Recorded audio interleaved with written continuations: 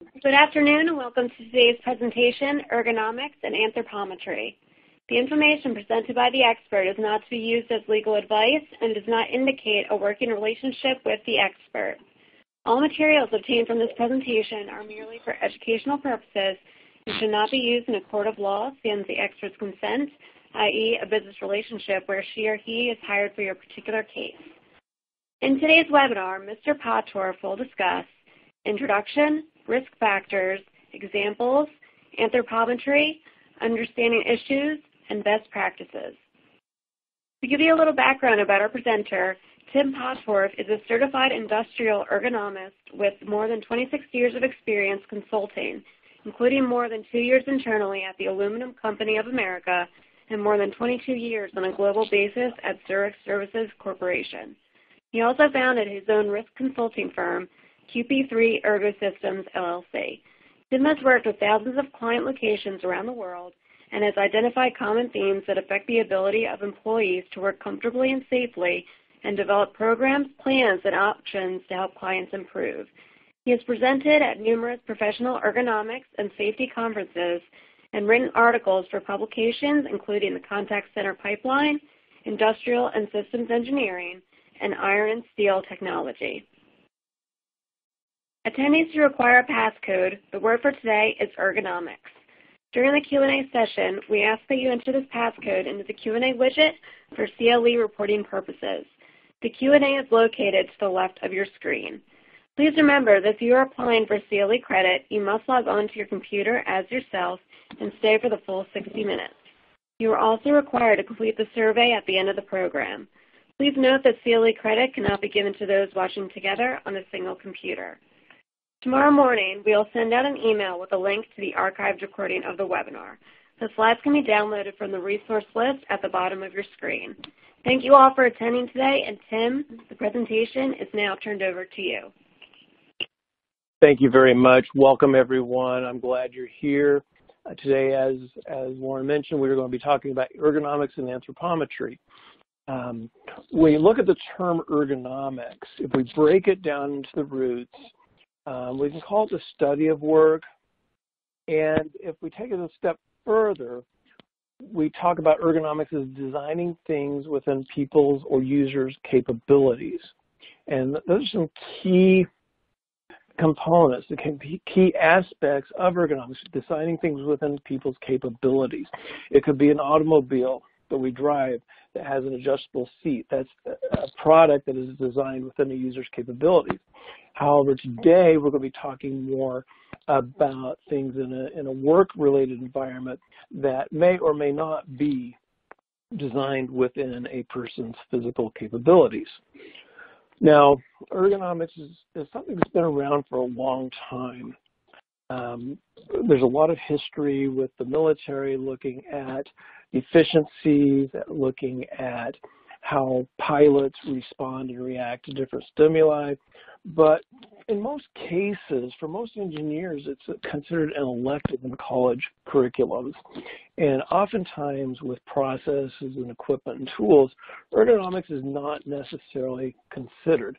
Again, it is that elective that many disciplines do not require an engineer to take. Now, we do have a lot of talented engineers out there, professional engineers. Um, they do a wonderful job of, of creating efficient processes to, to get the most out of materials and equipment.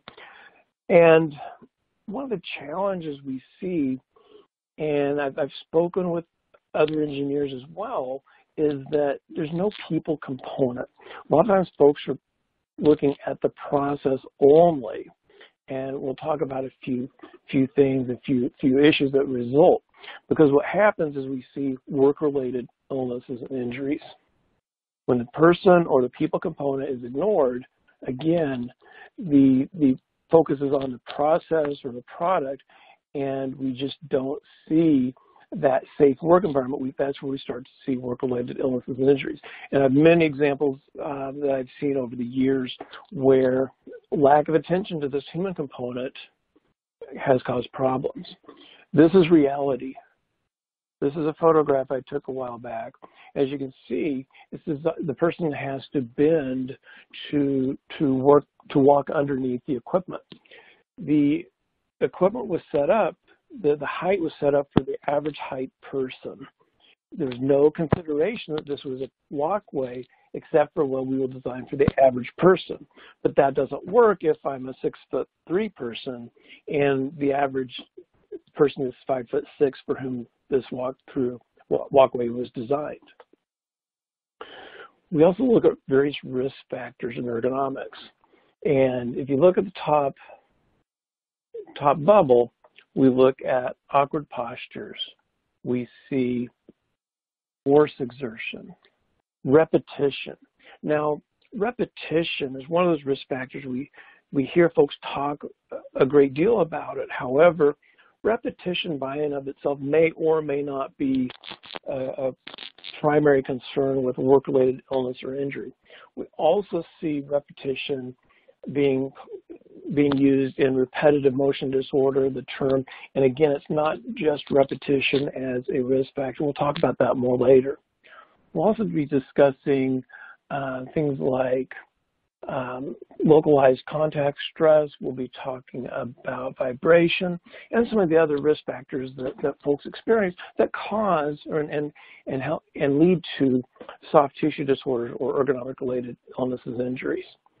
And what's interesting is soft tissue or ergonomic related illnesses and injuries do not happen instantaneously. These are disorders and injuries that occur over a period of time. Could be weeks, months, sometimes even years.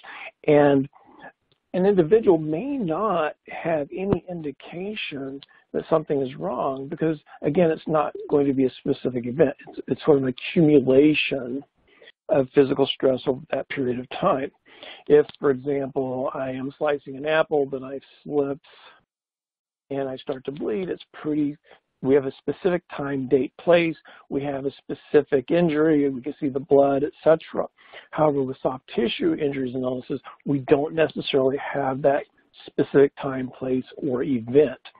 That doesn't mean, though, that an abnormal condition cannot result because what happens is over time, again, the, the a joint may become become stressed, the tendons, the ligaments, the muscles may become irritated and damaged till at some point I may want to reach my hand above the shoulder to reach something, but my joint just does not allow me to do that. Those are the sorts of abnormal conditions we're looking at. Or I may try to reach something in the back pocket of my trousers. Again, I cannot reach that. Or, for example, I try to hold onto a coffee mug and I drop it because there's something wrong with my hand or a structure. Those are sorts of abnormalities that can occur. And again, these are not issues that occur instantaneously, but again, over time. When we look at posture issues as risk factors, there's several several ones we really uh, focus on. Reaching, bending, and twisting. For example, if we reach forward too far, reach behind us. We can twist the back, reach above our head, places stress on the shoulder. We reach down and bend, it affects the back. And again, if we reach too far forward, we can actually twist our spine. When people bend too much, um, it also places increased stress on the spine. If I bend 45 degrees or more, even without lifting something, I have a 20 to 50 times greater risk for a back injury as I would than if I were standing in an, and working in an upright posture. So it significantly increases stress on our bodies when we are in an awkward, twisted, or bending posture. Interesting about twisting is researchers have found that when a person twists in conjunction with a lifting task, it significantly increases the risk for back injury because of shear forces from twisting between the vertebrae and discs of the spine. So there's a lot of there are a lot of things to consider and look for in jobs that are going to affect a person's ability to work comfortably and safely, also as far as conditions that may may lead to risk factors that could contribute to injuries and illnesses. This is an example of a photograph I took not too long ago at a rest stop um, along I-80. And if you notice the individuals reaching up over shoulder, over head height to load the vending machine. And this is a, a design issue for the vending machine where they're trying to maximize the number of vended items in that machine so they have to replenish it less frequently. The challenge, however, is with the actual person who replenishes the vending machine. And just as we cannot put a person on a rack to stretch them out to make them taller, we also cannot hire people and select employees based on their physical stature unless there's something inherently dangerous in a job that that allows us to do so. So in so in this example, we have a person working. If you and if you see an awkward position with this one vending machine, but as you can see down the row, other vending machines have the same challenges for her. In this example, an operator is reaching to operate this, mechanic, this manual trimming device about 200,000 times every six to eight weeks. The reach is so great that they've also actually bypassed the safety latch on the trimmer handle. This results in, in infrequently, but it does happen, the actual handle just dropping down and striking the user. Uh, and again, they, they bypass the latch to try to reduce the extended reaches. So, uh, something as simple as change, looking at the work, looking at the process, and how it is designed is going to help by installing a mechanical trimmer instead of the manual trimmer, they can actually improve the process and eliminate those sorts of reaches. But again, it's a lack of consideration of the human element. They're looking at how can we trim these items as quickly as possible, yet without realizing that they have actually created a bottleneck and have actually created unforeseen uh, ergonomic and safety issues with that trimmer we look at force exertion, um, primarily we're talking about muscle forces, you know, hit when we talk about heavy pushing or pulling or lifting or lowering. And with force, we generally have greater issues when they're combined with other risk factors. Um, when I'm, I can hold about 50 pounds pretty comfortably if I have myself in an upright standing position, if my shoulders relaxed, my elbows about 90 degrees, and I have the object close to my body. However, if I try to lift that same 50 pounds three feet away from my body and it's on the floor, then the stress and risk to my spine is going to be much greater. So when we start combining risk factors, that's when we start to see greater stress on the body and greater overall risk. You know, we talked about repetition a little bit earlier. And one of the challenges we, we have with this risk factor is there's no dose-response relationship. We just don't know that 5,000 repetitions an hour for eight hours a day for five days a week for 50 weeks a year is going to cause an injury or illness in the hand wrist structure of this person or that person scientists and researchers have been attempting to identify those those dose responses, we just don't have a, a good a good handle on that. There's also an effect on the body in that different body structures are going to determine the level of risk.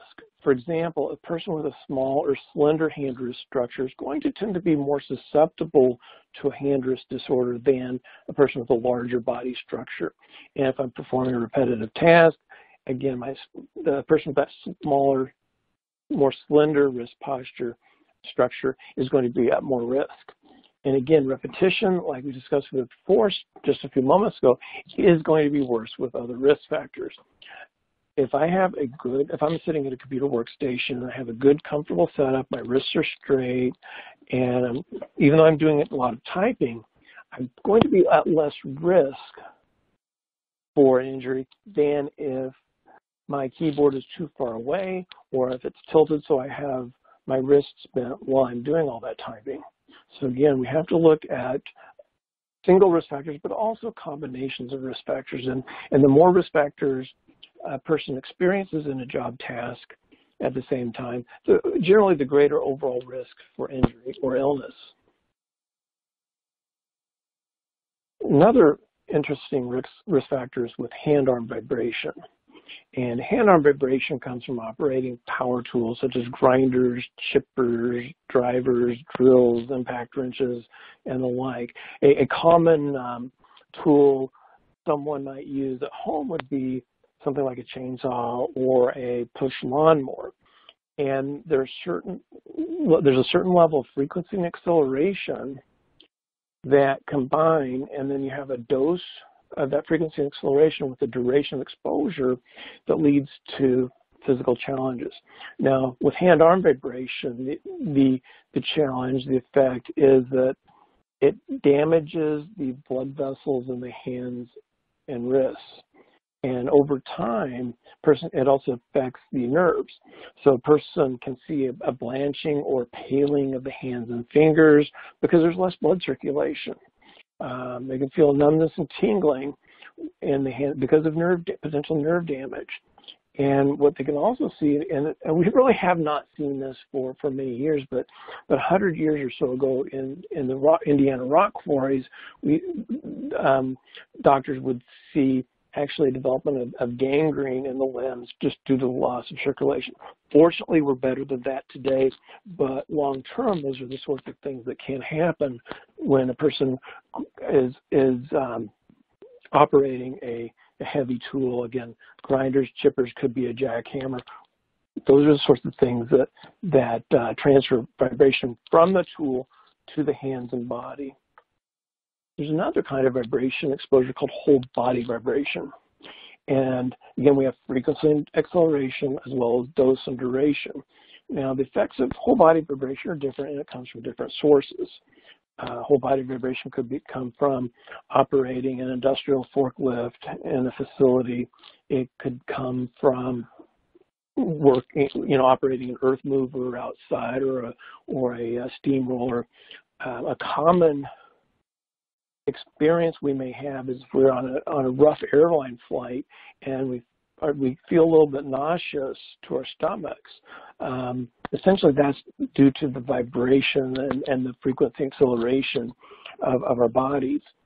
But with whole body vibration over time, especially with a, with a consistent exposure, we see a few things. We see potential damage to internal organs from the vibration. We also see nausea and, and upset stomachs. And over time, we can see damage to the spine because at some point the spine begins to act as what we would call a biological shock absorber. And so the spine is trying to absorb the vibration to protect our organs. So those are some of the effects of whole body vibration. Uh, I've seen uh, actual industrial operations where where the equipment had so much vibration that was not properly isolated that employees were experiencing whole body vibration and symptoms of nausea and upset stomachs that at the time were mistaken for uh, exposure to carbon monoxide, but actually was affecting the vibration. Contact stress is where part of the body comes into contact with a sharp or squared edge. And what happens with, with contact stress is it affects circulation because it can affect blood vessels, it can affect nerve function if, if there are nerves that come into contact under the skin. Also, it can affect tendon and ligament use and, and functioning. So this example shows a person seated at a, a production operation and the underside of the operation contacts the upper legs and you can sort of see the piece of metal digging into to the skin of the legs. We often see this at workbench operations, whether it's an assembly operation, it could be a laboratory operation, where somebody's actually contacting the edge or corner of the bench with the with the elbows or forearms. And again, that affects the tendons at the base of the arm. And often you can see the effects, the, the engraved, if you will, ridge where that corner has contact to the, the body. When we talk about extreme heat, we're talking about external ambient temperatures and where the internal body temperature starts to rise. Over time, um, if the body is unable to cool itself through sweating, um, then then the body starts to to shut down. We have heat stress, we have have heat stroke. Um, so be careful, especially in the hot months. Make sure that folks have adequate hydration and avoiding caffeine so that their bodies have enough liquid, enough moisture and water to sweat. Um, if you remember the uh, the case of Korey Stringer, the, the Minnesota Vikings player a number of years ago, his body temperature was something like 110 degrees when they carried him off the field because the effects of the heat from the off season. Um, he was not in good condition. He was not hydrating properly, and it was just a tragedy because that that could have been avoided. Uh, we're right now we're getting into the fall months in upper North America, and with extreme cold, the the body um, tends to reduce circulation to conserve heat. And when the body reduces circulation to conserve heat, it reduces circulation to the outer extremities. So the, that's why our fingers and toes tend to feel a lot colder in the winter months, especially when we're in a cold environment. And if I'm working in a cold environment, I have less circulation, and I am working in a hand wrist intensive job, then I have a greater risk for illness or injury just because my body doesn't have as much circulation as it should to heal that wear and tear that comes from that hand wrist intensive job. I like to show various examples of how people are or are not considered in the work environment. In, in this photograph, this really is not a best practice of how to sit. As you can see, the individual's spine is hunched forwards for what we call a potato chip style posture. We see the the feet hanging off the chair. There's nothing to support the feet. And there's a lot of contact stress on the underside of the thighs from the front edge of the chair. This is just not a good work environment.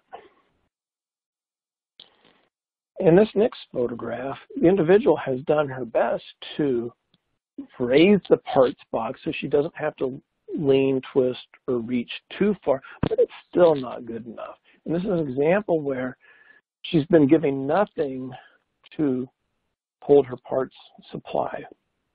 And this, these are examples of situations where a lot of attention has been placed on the process. As you can see, there's a lot of equipment at the bench, but there's nothing actually to hold the parts once she's finished the process.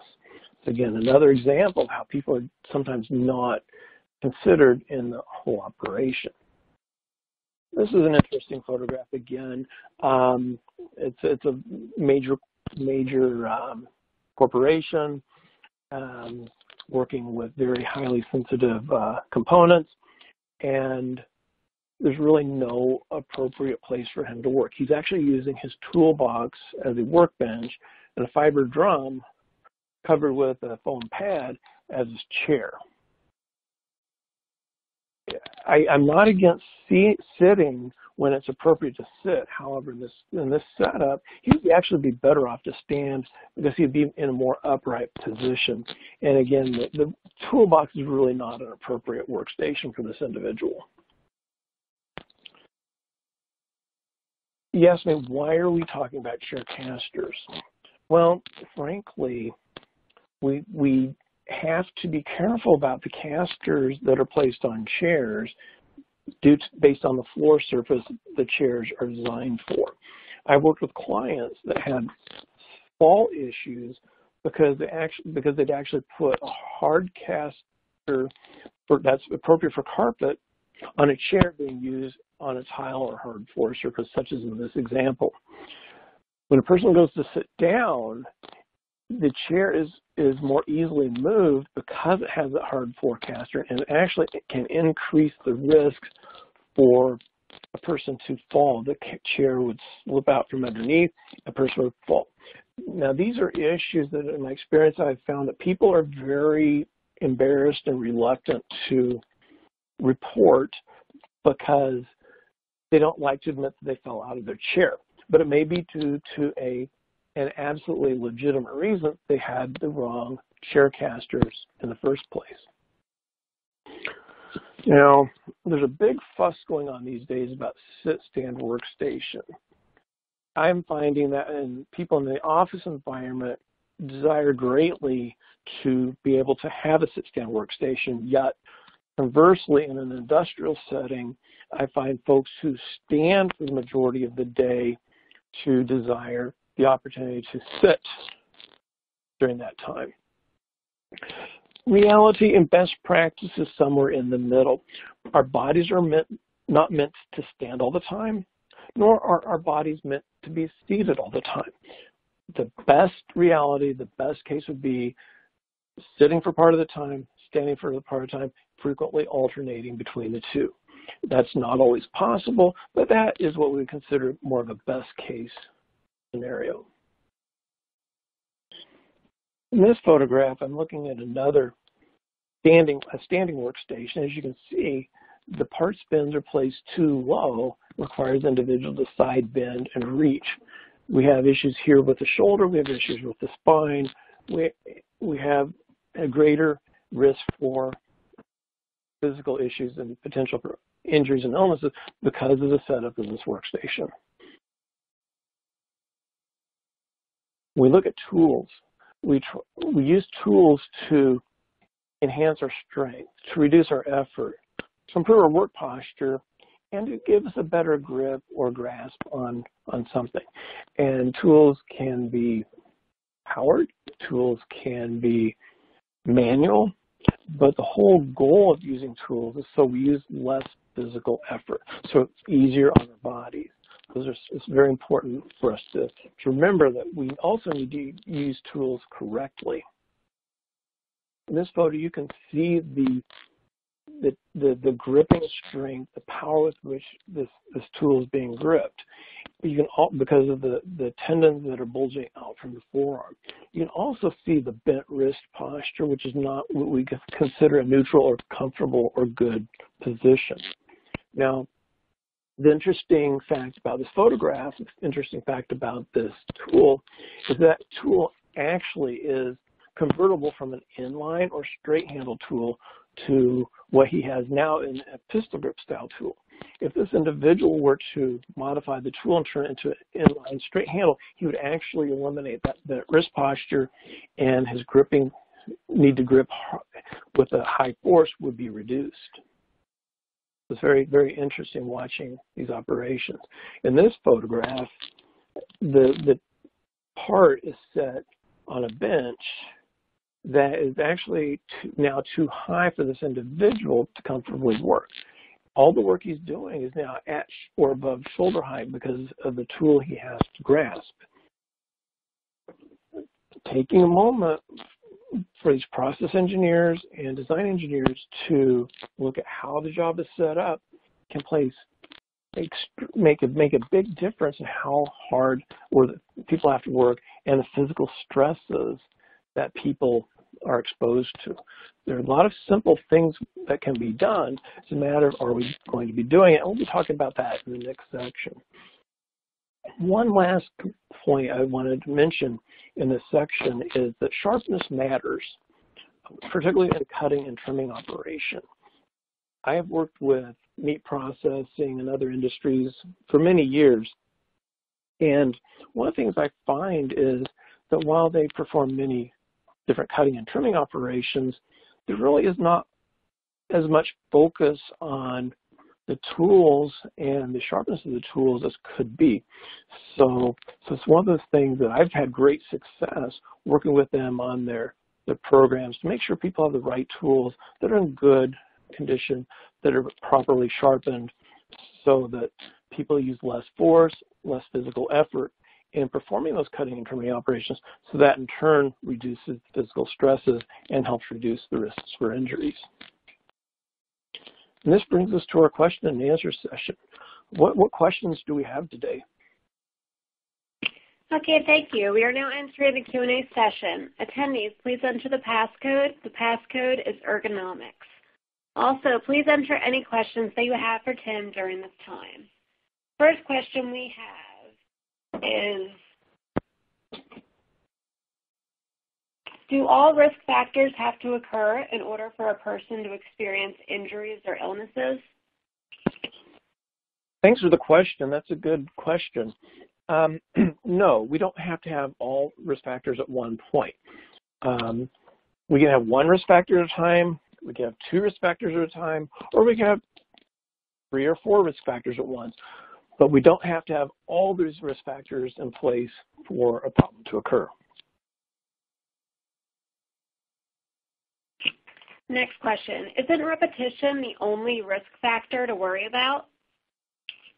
Um, actually, that's that's another good question. Um, and and no, we again we as I mentioned earlier, we have heard we hear a lot about repetitive motion injuries, but I rather I'd rather use a term uh, cumulative trauma disorders or work-related musculoskeletal disorders because repetition is just one risk factor, and some jobs may not have repetition, but actually may have high force exertion that cause concerns, or they may have awkward postures that cause concerns, or vibration exposure, or something else. Why is it important to have the right tools? Having the right tools allows us to perform a, a job or task more efficiently, but also more safely. For example, if I am putting putting a, a, a um, doing building a project. Say I'm, so I'm building something. I'm I'm putting a piece of furniture together, and it calls for a Phillips head screwdriver, but all I have is is a flat point screwdriver. That may not allow me to safely grip the the parts I'm trying to turn, and may actually cause cause the tool to slip and result in injury or illness. So having the right tools is, is very important. I, I like to use the analogy of a person cooking, and a lot of folks like to have hobbies. They like to cook. If you don't have the right right cooking utensils and tools, it can make the job more difficult as well.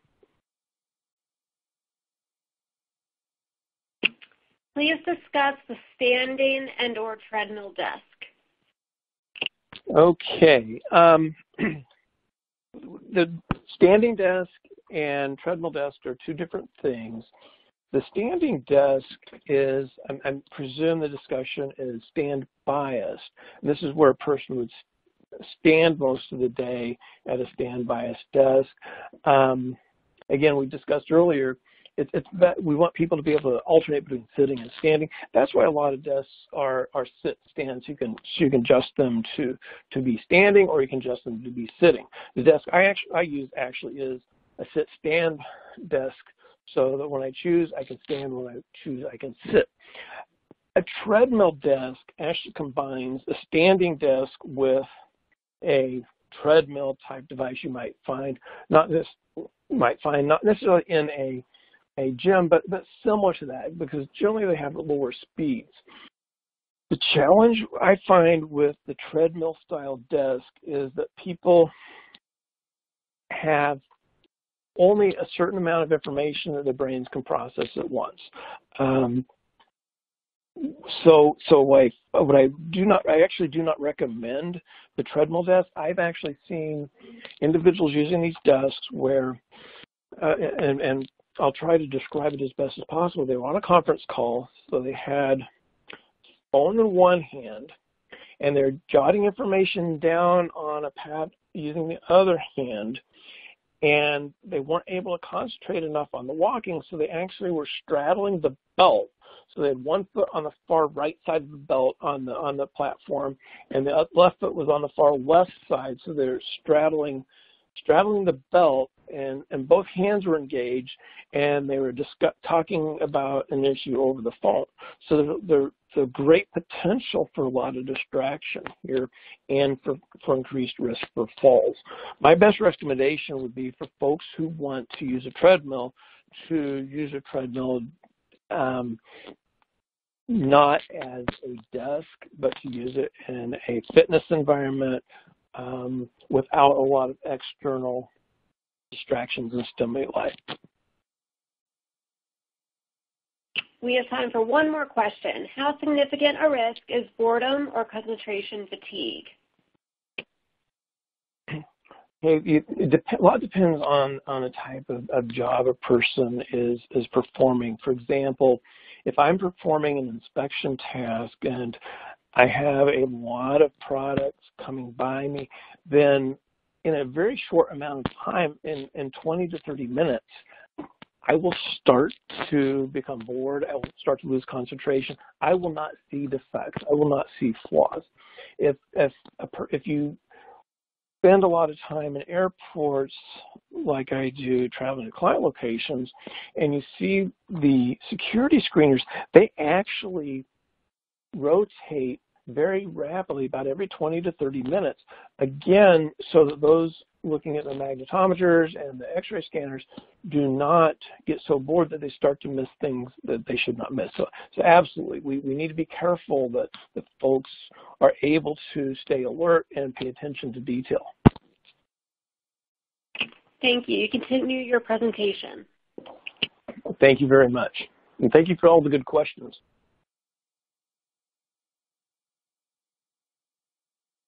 Now, when we start looking at ways people get hurt, we're looking at training issues, we're looking at design issues. If there's a hole in the ground, I can do one of two things. I can train my team, I can train my people to walk around that hole, which sometimes happens in places I visit, or we can look at the design of it and we can either fill in and eliminate the hole or cover it until it can be filled in. So it's a difference between a training and a design. The challenge with the training aspect is many times information goes into the brain and just does not stick. And so one of the things that we try to do with equipment and tool equipment and tools, excuse me, is to set them up so that there is one way to perform a task, there's one way to use a tool or piece of equipment, so that we don't have to rely on cooperation from employees, and so that there's less chance long term for people getting hurt. Another reason we see what I call poor design issues is safety reviews or lack thereof and ergonomics reviews or lack thereof. I work with, again, many clients, large and small, and frankly, safety and ergonomic reviews are often not considered or only performed on a cursory basis. What this then does long term is to increase the risk for injuries and illnesses. I do work periodically with large clients, and they're a little bit more sophisticated that do require safety reviews for all incoming processes and tools and equipment, and who are actually moving towards ergonomics reviews for process tools and equipment.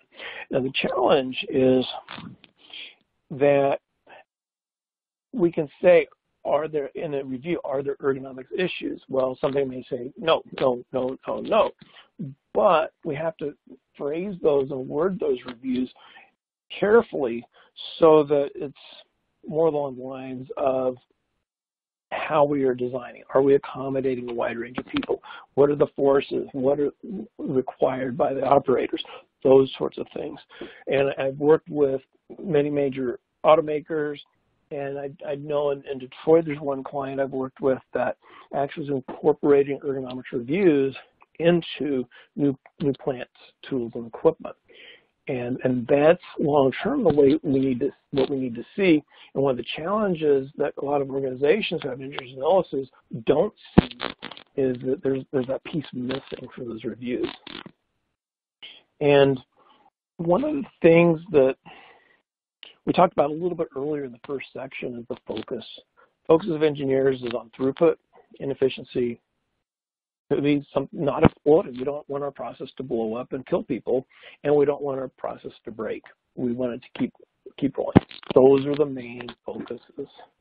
that's where um, our challenges lie.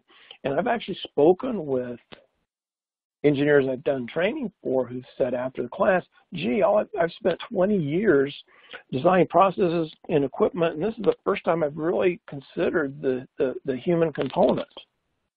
So we have a lot of opportunities here and, and processes, and we can go back and look. When you put this processor piece of equipment in, did you consider the human component?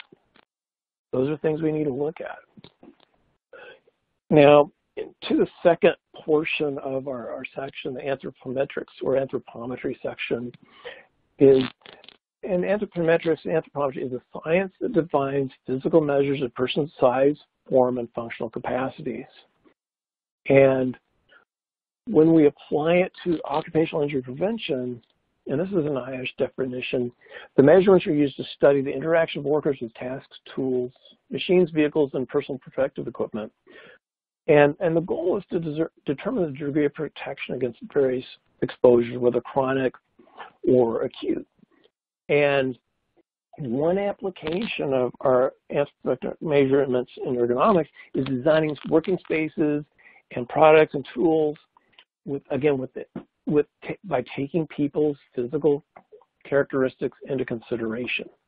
Um, if you got into a car and, and, drove somewhere this morning and somebody else was driving the car before you, you probably adjusted the seat, the mirror, the steering wheel, a few other things to work comfortably. That's what we're trying to do. The automakers have done a pretty good job of designing equipment, tool, their, their, their products to allow a wide range of sizes of people to operate them. And when we start talking about sizes of people, we talk about the smallest which is about five foot, five feet tall. The average person is about five foot six, and largest or tallest is about six foot three. Now we also have the width or breadth and depth of the human body, and the the girth, if you will, has been of people's bodies has been increasing over recent years. So those are also certain things we have to take into consideration. Airplane seats are not built for today's average adult body. They're built for adult body for several decades ago. So those are sorts of things we'll be talking about. We have gender differences. Men over, overall are, have larger statures, greater statures than, than do women. We have regional, cultural, and demographic differences depending on the part of the world we come from. I, I've worked again on a global basis, and I've seen the, these these challenges. What's also interesting is when equipment is brought from one region into another region with a different demogra uh, anthropometric demographic, and my forward reaches may be less, but maybe the equipment is actually too short for the demographic of, say, the, the Northern Europe or the or the Americas, and we have to make some adjustments adjustments here and there. So we have to be careful about regional differences and the equipment we bring in and who's designing that those tools and equipment. So what do we do? How do we accommodate a lot of people? We have to look at ranges. Our best practices goal in the science of ergonomics is to try to accommodate about 90% of the working population, again, adult men and women. That's our goal. And the goal is a range. We're not always going to be perfect, but that's what we should strive, strive to achieve. And that's one of those questions we should be asking is when something goes wrong somewhere, we should be asking, okay, what anthropometric range was this piece of equipment or this tool designed for? Something, something very, very key to consider some simple things to look for. I look for reach distances. I look for the hand height or upper hand height where I'm interacting with the process. Not necessarily the fixture height, but where are my hands going to be? What height are they going to be? Um, when I look at reach distance, that's another thing to consider is that I'm not always going to be looking from the front of the piece of equipment to where my hands end up. I actually need to pull, step back and look at the center of my body. Where, where are my shoulders? Where do my shoulders start? So from my shoulders to the point of operation of the hands. That's the actual reach, reach distance, not from that front of the piece of equipment. It's a very, very important thing to consider. So what can happen? If I'm working above the shoulders, as we, as we spoke earlier, about earlier, I have a greater risk for a shoulder injury if my hands are working above the shoulders. If things are set up too low and I have, find myself bending on a frequent basis, then I've got a, I'm experiencing a greater risk for low back injury. If I have to reach forward again, I have a greater risk for a shoulder injury because again, it's not within that comfortable zone. A comfortable zone would be for me to be an upright or a slightly bent knee posture, my shoulders relaxed, elbows about 90 degrees and wrist straight. If you can imagine that that is where I'm strongest, that is what I consider my neutral posture where I want to be doing most of my work. Granted, there are going to be times where we have to reach below mid-thigh. There are going to be times where we have to reach above shoulder. We're trying to minimize those kinds of situations, those occurrences.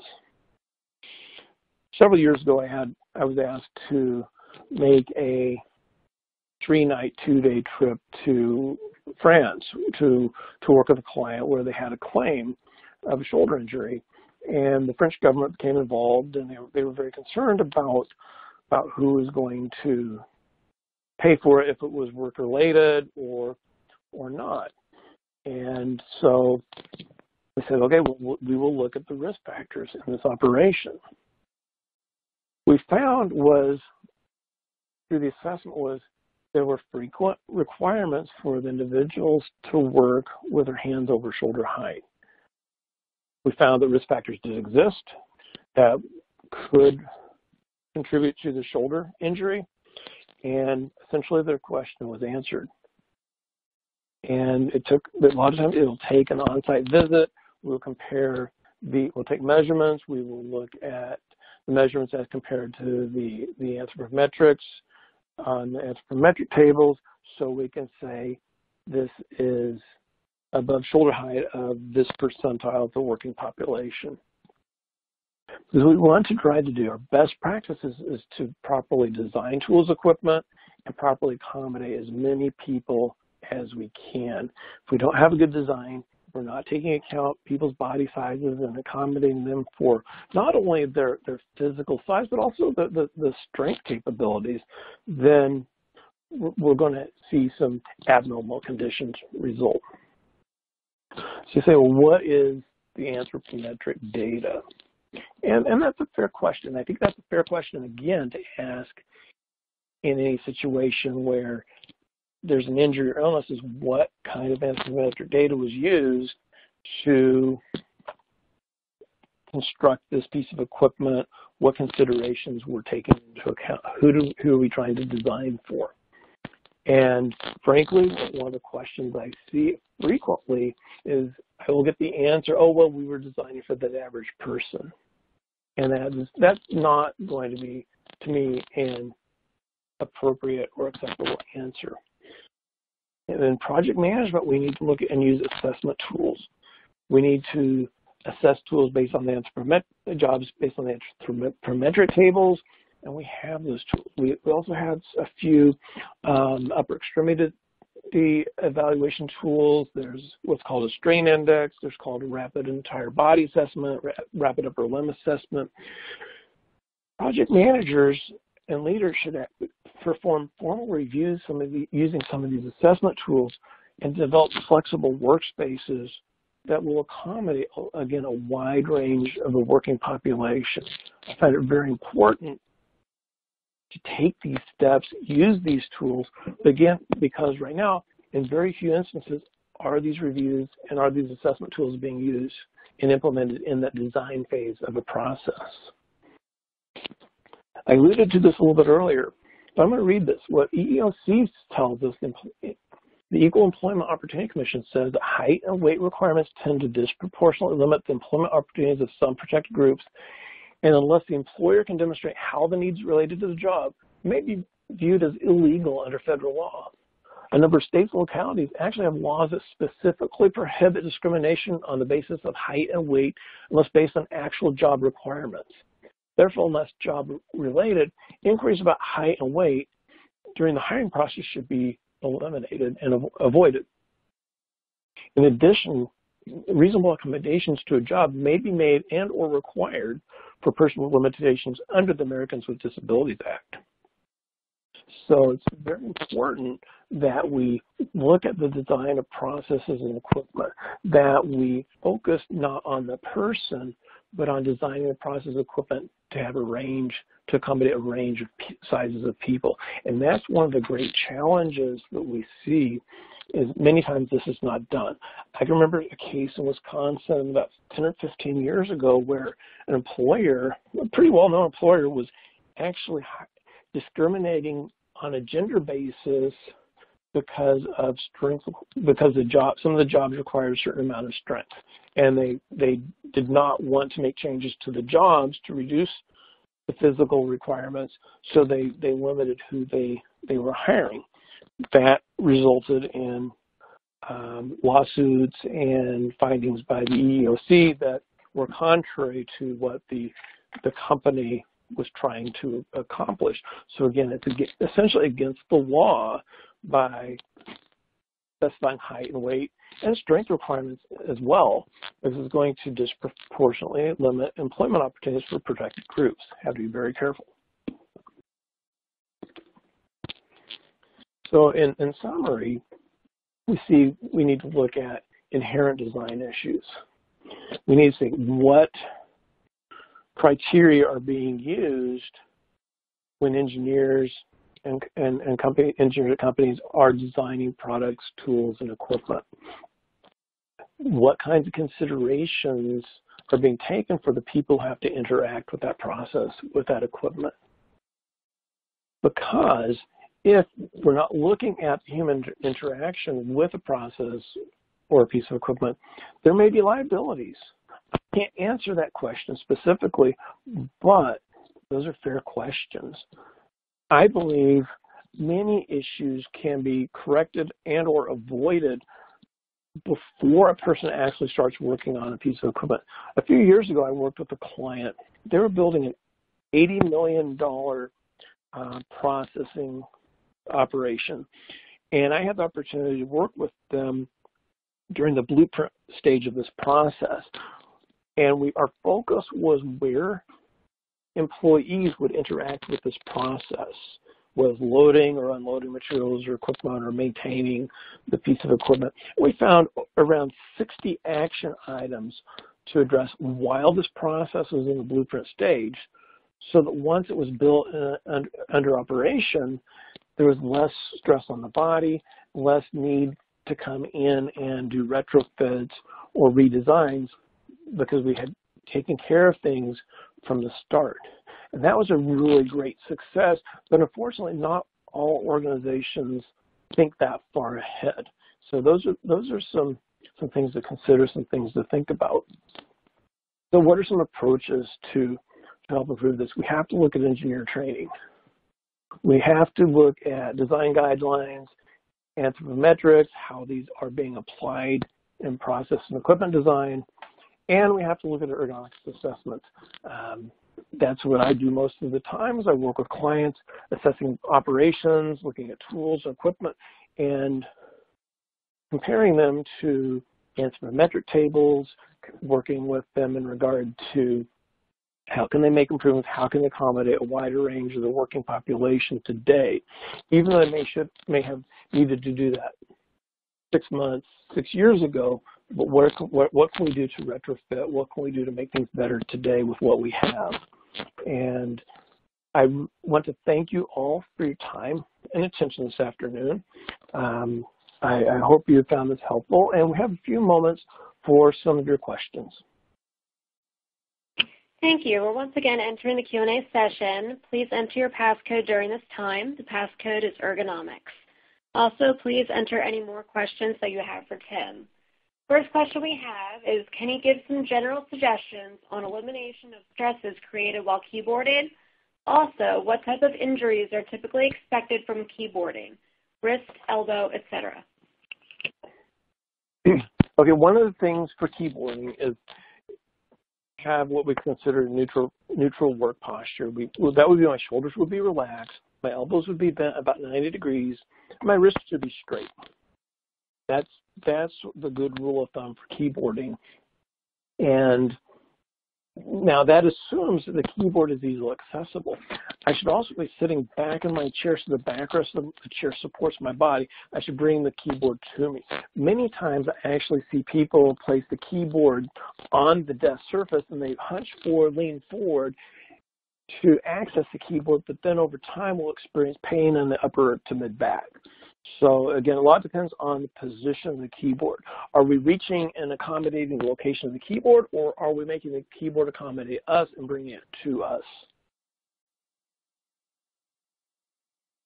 Next question, can you talk about the pros and cons of different computer mouse options? Pros and cons of different computer mouse options. The rule of thumb when using a computer mouse is to have a straight wrist posture. Um, I use a traditional computer mouse with a, uh, a, an attached palm support so that when I move the mouse, which is wireless, my whole forearm moves. Um, there are vertical mouse devices that um, allow for more of a, a you'd call a, what you'd call a handshake posture. I find that those are cumbersome for me personally to use, but I know other folks and, and clients who have used them successfully for many years. Um, if you are right-hand dominant person or left-hand dominant person, the, the upright or vertical style mouse pointing devices um, are designed for left-handed or right-handed. So that's that's something to take into consideration when ordering. Um, there are obviously touchpad style mouse pointing devices and, and, and, laptop computers that, that can be useful, sometimes not as, as precise, but many times uh, it depends on what works best, excuse me, for a particular individual. Uh, trackball style mouse can also be helpful. The key is to keep the wrist straight, regardless of how you operate the mouse. Um, we don't want people to flick the mouse left or right, nor do we want the, the hand to be up bent backwards, if you will, into what we would call a cobra or extended wrist posture. So again, the key is a straight wrist position. And a rule of thumb I use is, is, is no wrinkles. We don't want to see wrinkles on the wrist. What are the basic things to look for in making a typical sitting desk workspace more ergonomic? Uh, first off, we want to be seated comfortably. Um, if I'm to do that, we start off, we want the feet supported by the floor or a footrest. The next piece we want is the knees bent about 90 degrees and the thighs are roughly parallel to the floor. We want to be able to sit back into the chair so that, so that our back is supported by the backrest and we're not hunched forward. If I lean forward in my chair, then most of my upper body weight is now concentrated on my low back. If I sit back in the chair, then the, the back rest of the chair actually absorbs my upper body weight. Then, as, as we mentioned earlier, we want the shoulders relaxed, elbows about 90 degrees, and wrists straight. That is my optimal seated posture. From there, I need to see how I can manipulate my keyboard and mouse so I'm still able to achieve that comfortable seated posture. If I need to raise the chair on so I can access a taller desk, then I probably need a footrest or something underneath my feet so that my feet are supported, and that helps tip, tip me back into the chair, again, to achieve that, that, that support. Um, as far as the monitor, we should have the monitor at a comfortable viewing distance, about, a, about arm's length. Uh, some people may need it closer, some people may need it farther away. For most folks who do not wear bifocal or progressive lenses, we want the top of the screen about eye level. For those of us who do, we generally need to drop the screen closer to the desk surface. Those are some, some, some, some overviews and overall guidelines for good seated posture at your computer workstation. This is the last question, but related to that, are expensive ergonomic office chairs like those from Herman Miller worth it? Do you know whether the chair maker HON is quality? Um, I've seen great chairs from major furniture manufacturers, I've seen poor chairs from various manufacturers. Without commenting on specific brands, um, I, have seen great chairs from these manu from manufacturers. I've seen, seen substandard chairs. Generally, good chair design is a chair with a, a, a foam or padded base foam, or seat pan, foam padded backrest of some sort that gives, that provides cushioning and support for my body. We want a seat pan that is generally flat, that does not force our, our hips or legs into uh, an unnatural position. We want to be flat so that our legs are where we want them to be, not where the chair tells us to be. Um, you know, the, the Herman Millers, the Steelcases, the Humanscales, the Hans of the world, and, and there are many others, generally make a pretty good chair. Um, in an office environment, I have seen folks go to a big box store and purchase what I call a two-hour chair. Now the challenge with the two-hour chairs is it's designed to only be used about two hours a day. And then, and if used more than that, they wear out very quickly, and they generally don't have very good warranty. Chairs from your major manufacturers are going to have a minimum usually of about a 10-year warranty. That's what we're trying to achieve. And in, in large-scale office, office environments, um, what I've seen in, in my own experience is testing chairs, having folks comment on them if you're looking at a large large environment. But again, you do want to go with a major brand, um, but not all chairs are created equal, unfortunately. And I, have seen great chairs from top chair manufacturers, and I've seen poor chairs from top manufacturers. So it depends on the particular chair. Thank you for answering those questions. Any unanswered questions will be forwarded to, for him to answer directly. Please remember that if you are applying for CLE credit, you must have attended for the full 60 minutes of the presentation. You are also required to complete the survey at the end of the program. Just a reminder that you will be receiving your certificates via email in 24 to 48 hours after the presentation. In addition to being your best source for testifying and consulting experts for more than 60 years, TASA also offers free interactive webinars, expert written articles, and research reports on expert witnesses such as the Challenge History Report 2.0 and Expert Profile 360. I want to take this opportunity to thank everyone for attending and most especially Tim Pottorff for his time and effort in creating this presentation. If you would like to speak with Tim or if you would like to speak with a TASA representative regarding an expert witness for a case that you are working on, please contact TASA 1-800-523-2319. One of my colleagues will be following up with you regarding your feedback on today's presentation.